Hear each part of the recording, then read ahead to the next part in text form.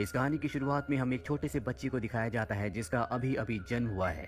उसे खास सुरक्षा के साथ डॉक्टर एक जगह से दूसरी जगह ले जा रही होती है। दरअसल ये बहुत ही सेंसिटिव है। ये बच्चा बिना इम्यूनिटी के पैदा हुआ है। कोई भी इस बच्चे के पास जाने से पहले अपने आप को पूरी तरह से सैनिटाइज करता है। इस बच्चे का नाम जिमी है।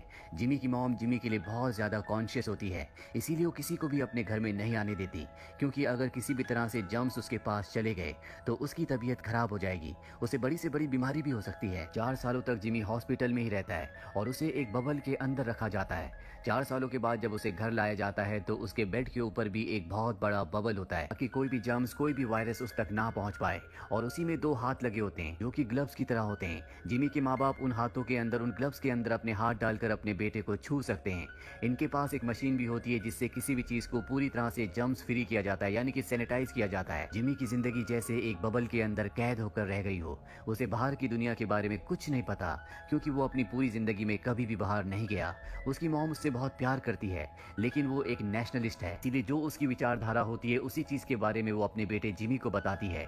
जिमी के बारे में आस पड़ोस के हर एक बच्चे को पता होता है, लेकिन उसके साथ कोई भी सिंपति नहीं करता, बल्कि उसका मज़ाक उड़ाया जाता है। खिड़की से बाहर जब जिमी देखता है तो वहाँ पर तीन बच्चे होते हैं, जिन्होंने अपने आप को प्लास्टिक के अंदर कवर किया होता है। दरअसल वो जिमी का मज़ाक उड़ा रहे होते हैं। जिमी की ज़िंदगी चार दीवारों के अंदर कैद होकर रह गई है। इसी तरह से वक्त बीतता है और अब जिमी सोलह साल का हो चुका है। और एक दिन जब वो खिड़की से बाहर देखता है तो वहाँ पर एक लड़की आई होती है, जो इनके नेबर में रहने के लिए आई है। इस लड़की का नाम जोई होता है। जिमी उसे देखकर अट्रैक्ट हो जाता है, लेकिन उसे प्यार के बारे में कुछ नहीं पता। उसने अपनी ज़िंदगी में अपनी मॉम के अलावा कभी किसी फीमेल से बात नहीं की, लेकिन जोई के प्रति वो बहुत ज़्यादा अट्रैक्टेड होता है। और जब जिमी की मॉम को बात पता चलती है तो जिमी को समझाती है कि इस दुनिया में प्यार अट्रैक्शन कुछ नहीं होता। ये सब बेकार की बातें हैं, पर जिमी जब भी उस लड़की को देखता था तो उसे अच्छा लगता था। इसी तरह से कुछ और साल बीत जाते हैं और जिमी हर रोज उस लड़की को अपनी खिड़की से देखता है। क्लोई को भी पता होता है कि जिमी उसे खिड़की से देखता है, वो उसे पसंद करता है। पर जब भी वो जिमी की तरफ़ देखती है तो जिमी अपनी नज़रें घुमा लेता है। क्लोई को भी पता है कि जिमी उसे पसंद करता है, लेकिन वो उससे कभी बात नहीं कर सकती क्योंकि वो कभी घर से बाहर नहीं आता। और अब क्लोई के जो दोस्त होते हैं, वो जिमी का मज़ाक उड़ाते हैं। वो कहते हैं कि वो एक बबल बॉय है। वो हमेशा एक बलून के, एक बबल के अंदर कैद रहता है। क्लोई को अपने दोस्तों की ये बात बिल्कुल अच्छी नहीं लगती, क्योंकि वो जिमी के बारे में कुछ भी गलत नहीं सुनना चाहती। इसीलिए वो वहाँ से चली जाती है। और अब वो तय करती है कि वो जिमी के घर जाएगी। जब वो जिमी के घर जाती है तो उसे अंदर इन्वाइट किया जाता है। वो देखती है कि स्टेयर्स में बहुत बड़े बड़े पाइप लगे हुए हैं, जिसके अंदर से एयर फ्लो रही है। और जब वो ऊपर कमरे में जाती है तो वहाँ पर जिमी होता है। जिमी उसे देखकर बहुत हैरान होता है। उसने अपनी पूरी ज़िंदगी में इतनी पास से कभी किसी लड़की को नहीं देखा। और अब वो जिमी से कहती है कि मुझे तुम्हारा गिटार बहुत पसंद है। जिसके बाद जिमी उसे अपना गिटार देता है। और उसके बबल के बाहर जो हैंड शेप ग्लव्स होते हैं, उनमें अपना हाथ डालकर वो उसे गिटार बजाना सिखाता है। इसके बाद क्लोई हर रोज यहाँ पर आना शुरू कर देती है। इन दोनों की दोस्ती हो जाती है। जिमी की मॉम को बिल्कुल पसंद नहीं होता।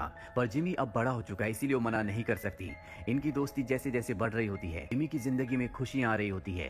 हेलोवीन के दिन यहाँ पर क्लोई कुछ बच्चों को लाती है। जिमी को पहली बार एहसास होता है कि हेलोवीन की पार्टी क्या होती है। अब ये दोनों एक दूसरे से प्यार करने लगे हैं। ये एक दूसरे के बिना नहीं रह सकते। एक रात को क्लोई ड्रिंक कर लेती है और जिमी से कहती है कि मैं बबल के अंदर आना चाहती हूँ। मैं तुमसे दूर नहीं रह सकती। जिमी उसे अंदर नहीं आने देता। जिस बात से उसे बहुत बुरा लगता है और वहाँ से चली जाती है। साथ ही उसे ये भी समझ में आ जाता है कि जिमी की और उसकी ज़िंदगी अलग है।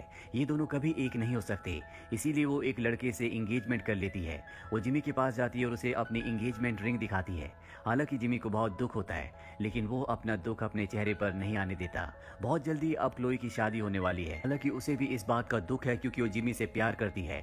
जिमी को उसने एक गिनी पिक भी दिया होता है। जो जिमी की तरह एक बबल के अंदर बंद होता है। जिमी उसके गिनी पिक को उसे वापस कर देता है। क्लोई ने उसे यहाँ पर एक गिफ्ट भी दिया होता है। और जब क्लोई के जाने के बाद वो उस गिफ्ट को खोलता है तो ये एक स्नो ग्लोब होता है, जिसके अंदर लिखा होता है आई लव यू जिसे देखकर उसे बहुत खुशी होती है। दरअसल वो ये तो जानता था कि क्लोई उसे पसंद करती है, लेकिन क्लोई ने पहली बार उसे आई लव यू कहा है, और अब वो तय करता है कि वो किसी भी कीमत पर इस बबल से बाहर निकलेगा, और नायग्रा फॉल्स जहाँ पर उसकी शादी होने वाली है, उसकी शादी रोक कर वो अपने प्यार को हासिल करेगा। इसके बाद वो अपने लिए एक ऐसा बबल बनाता है जिसे लेकर वो कहीं भी जा सकता है, और वो अब नायग्रा फॉल्स जाना चाहता है। वो बस की टिकट लेने के लिए टिकट काउंटर पर जाता है, लेकिन वो पैसे घर ही भूल गया होता है, और अब वो जब सड़क पर आता है तभी उसे एक बस हिट कर देती है, पर अपने बबल की वजह से वो बच जाता है। बस से कुछ लोग नीचे उतरते हैं और जिमी को कहते हैं कि हम तुम्हें लिफ्ट दे सकते हैं।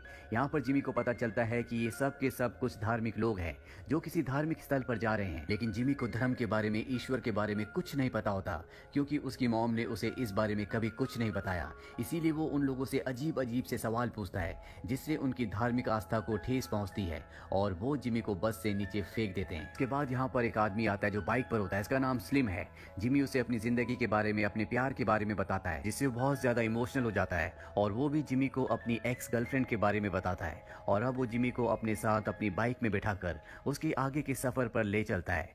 वहीं हमें उस धार्मिक ग्रुप को दिखाया जाता है जो अब उस जगह पहुँच चुके हैं, जहाँ पर उनके धार्मिक गुरु हैं। वो उन सबको पत्थर के ऊपर एक चित्र दिखाते हैं, जिसके चारों तरफ़ उसी तरह का एक सर्कल होता है, जिस तरह का जिमी के चारों तरफ़ उसका सुरक्षा बलून था। और वो बताते हैं कि ये कोई आम इंसान नहीं है, बल्कि ईश्वर ने इसे हमारी दुनिया में भेजा है। इसे इंसानों की मदद की ज़रूरत है।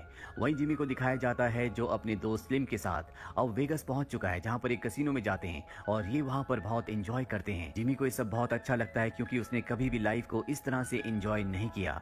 पर उसे अब यहाँ से जाना होगा, क्योंकि दो दिन बाद क्लोई की शादी है। इसीलिए एक स्कूटर लेकर वो यहाँ से निकल जाता है। तभी रास्ते में उसके माता पिता जो उसे ढूंढ रहे होते हैं, वो उसे देख लेते हैं। जिमी उनकी गाड़ी से टकरा जाता है और बलून के अंदर यानी कि उस सुरक्षा कवच के अंदर होने की वजह से वो उछलता हुआ एक ट्रेन के अंदर चला जाता है, जहाँ पर बहुत ही अजीब लोग होते हैं। और वो बताते हैं कि हमारा जो मास्टर, हमारा जो बॉस है, उसने हमें यहाँ पर पकड़ा हुआ है। वो हमें अपने शो में काम करवाता है और अब जिमी को उसके पास ले जाया जाता है, जो कि एक छोटे कद का इंसान होता है। जिमी गलती से उसे नीचे गिरा देता है और यहाँ पर उसने जितने भी लोगों को कैद किया होता है, सबको आज़ाद करवा देता है। इसके बाद जिमी नायग्रा फॉल्स के लिए निकल पड़ता है, जहाँ पर क्लोई की शादी होने वाली है। लेकिन वो वहाँ कैसे पहुंचेगा, उसे कुछ नहीं पता। वो एक रेस्टोरेंट के अंदर जाता है, जहाँ पर एक इंडियन आदमी बैठा होता है और उसके पहनाव की वजह से सब उसे परेशान कर रहे होते हैं। जिमी भी वहाँ पर जाता है और वो बताता है कि मैं इस बबल के अंदर इसलिए हूँ क्योंकि मेरे अंदर इम्यूनिटी नहीं है। ये सुनकर सबके सब डर जाते हैं। सबको लगता है कि ये बीमार है और बबल के अंदर कोई ना कोई वायरस है। अगर बबल फट गया तो ये सब के सब वायरस से इन्फेक्टेड हो जाएँगे। चारों तरफ़ भगदड़ मच जाती है, जिस वजह से यहाँ पर आग भी लग जाती है। जिमी अंदर फंस जाता है, लेकिन तभी वो इंडियन आदमी उसे बचाकर बाहर ले आता है। इसका नाम पुष्पॉप होता है और इसके पास एक ट्रक भी होता है। ये उस ट्रक में जिमी को बैठाकर नायग्रा फॉल्स के लिए निकल पड़ता है। लेकिन एक बार फिर से जिमी की किस्मत उसका साथ नहीं देती। पुष्पक का जो ट्रक होता है, वो एक गाय से टकरा जाता है, जिससे उसकी मृत्यु हो जाती है। इससे पुष्पक को बहुत दुख होता है, क्योंकि गाय उसके लिए पूजनीय है। पर जब ये बात वो पुष्पक को बताता है तो उसे उसकी बातें समझ नहीं आती। वो उसकी बातों पर यकीन नहीं करता। इस बात से पुष्पक को गुस्सा आता है, और वो उसे इस जगह से जाने के लिए कहता है। अब जिमी को किसी भी तरह से नायग्रा फॉल्स पहुँचना है। वो पैदल चलते हुए एक टाउन तक पहुँच जाता है। वहीं दूसरी तरफ़ हमें स्लिम को दिखाया जाता है, जो अपने बहुत सारे बाइकर्स के साथ पुष्पक तक पहुँच जाता है। उसे पता चलता है कि यहाँ से जिमी अकेला ही पैदल निकल गया है।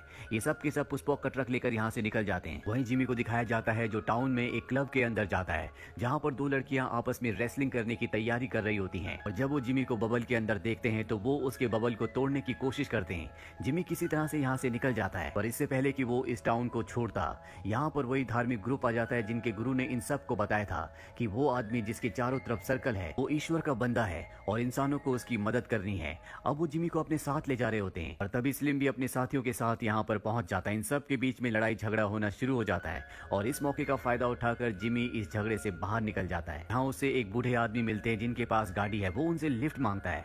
अब रात को जिमी सो जाता है और जब सुबह उसकी आँखें खुलती है तो वो देखता है कि वो बूढ़े आदमी अब इस दुनिया में नहीं रहे। और तभी उसकी गाड़ी टकरा जाती है, जिसके बाद वो स्टोर में जाकर गिरता है, जहाँ पर उसे फ़ोन दिखता है।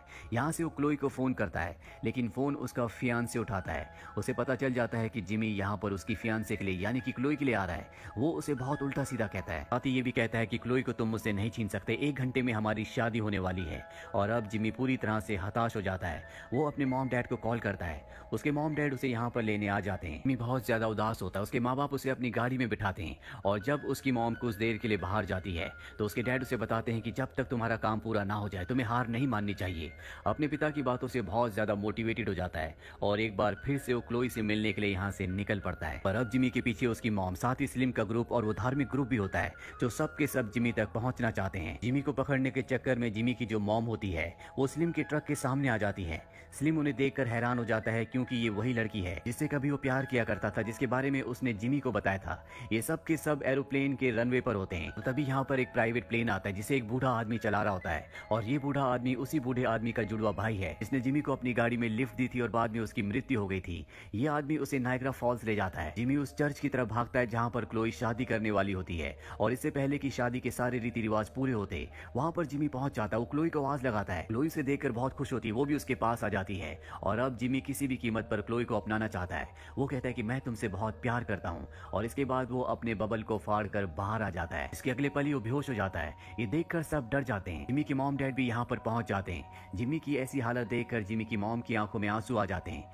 और तब जिमी के डैड कहते हैं कि अब सबको सच्चाई बताने का वक्त आ गया है। इसके बाद बताया जाता है कि जिमी को कभी भी कोई बीमारी नहीं थी। उसका इम्यून पावर दूसरों की तरह स्ट्रांग है। जिमी की मॉम ने दुनिया की बुराइयों से बचाने के लिए उससे झूठ कहा था। उसे ज़िंदगी भर बबल के अंदर रखा। हालाँकि वो अपने बेटे से बहुत प्यार भी करती है। और अब जिमी भी होश में आ जाता है, जिसके बाद वो अपनी मॉम को माफ़ कर देता है। कुछ दिनों के बाद जिमी की और क्लोई की शादी हो जाती है। और इनकी शादी में वो हर कोई इंसान आता है जो जिमी को उसके सफ़र पर मिला था। साथ ही स्लिम जो किसी जमाने में जिमी की मॉम से प्यार किया करता था, अब वो जिमी की मॉम के साथ जिमी के डैड का भी दोस्त बन चुका है। इसी के साथ ये कहानी यहीं पर खत्म हो जाती है। ये फ़िल्म ईयर 2001 में रिलीज़ हुई थी। आईएमडीबी पर इसकी रेटिंग है 5.6 उम्मीद करते हैं कि ये कहानी आपको पसंद